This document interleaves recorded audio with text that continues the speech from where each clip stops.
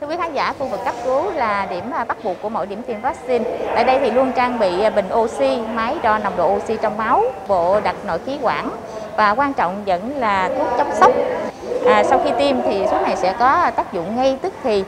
À, điều đáng mừng là từ khi à, triển khai tiêm vaccine cho đến nay tại các điểm tiêm ở tỉnh Hậu Giang thì không ghi nhận trường hợp nào à, sốc phản vệ nặng. Tất cả đều trong tâm thế an tâm, khỏe mạnh, tin tưởng vào liều vaccine mà mình được tiêm.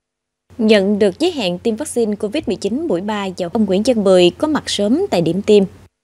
Số người đến tiêm rất đông, phải đợi lâu mới đến lượt, nhưng ông phấn khởi vì được tiêm vaccine, cơ thể tạo được miễn dịch để phòng bệnh. Nhà nước mà ra để mà tiêm vaccine được cho bà con và riêng cái bản thân chú thì ờ, rất là mừng về vui vẻ về được cái mà chống được cái cái ba cái covid để trong bản thân mình và cả cộng đồng cho bà con khác. Điểm tiêm ở Trung tâm Bồi dưỡng Chính trị huyện Châu Thành tiếp nhận và giải quyết hơn 1.000 người từ 50 tuổi trở lên. Đây là các trường hợp có bệnh lý nền, bệnh mãn tính đã tiêm hai mũi cơ bản, đủ thời gian tiêm mũi 3. Từ hồi ngày tiêm tới giờ thì thấy nó cũng khỏe, mình không có gì hết. Có người thì nói gì bị hành, bị đồ, chứ tôi thấy tôi không có gì hết, tự nhiên. Quá trình thực hiện thì anh em ờ, lực lượng y tế của chúng tôi thì cũng quyết tâm để mà thực hiện tốt cái cái kế hoạch ờ, tiêm mũi 3 lần này cho tất cả cái người dân thuộc cái đối tượng 50 tuổi lên được tiêm ờ, 100%.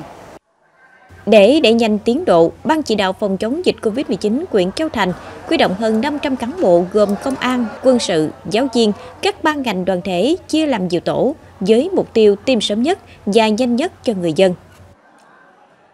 Ờ, qua quá trình ta tiêm vaccine thì cái sự mà xảy ra tai biến ở trên địa bàn ta thì chưa có. Nhưng có một số người dân cũng chưa có là yên tâm trong cái này. Tại vì họ không tiêm thì họ mắc bệnh nhưng họ mắc bệnh thì sẽ lây cho cộng đồng. Cho nên công tác này là chỗ CDC và các bộ phận truyền thông cũng rất là quan tâm cái này. À, đồng thời chúng ta sẽ uh, những người mà không tiêm thì chúng ta cũng tiến hành lập biên bản đó, uh, báo cho chính quyền địa phương cho cái uh, là cái ban chỉ đạo ở tại địa phương đó sẽ vận động Toàn tỉnh có hơn 220.000 người từ 50 tuổi trở lên, tiêm mũi 3 vaccine ngừa COVID-19 đạt hơn 90%. Sau đợt tiêm tập trung đầy, Ban chỉ đạo phòng chống dịch COVID-19 tỉnh chỉ đạo các quyện, thị xã, thành phố thành lập từng tổ đến tận nhà tiêm vét cho người hạn chế đi lại.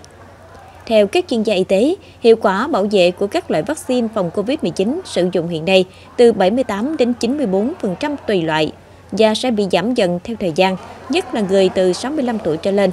Vì vậy, việc tiêm vaccine mũi 3 nhằm tăng hiệu lực bảo vệ, giúp cơ thể sản xuất đủ kháng thể chống lại virus.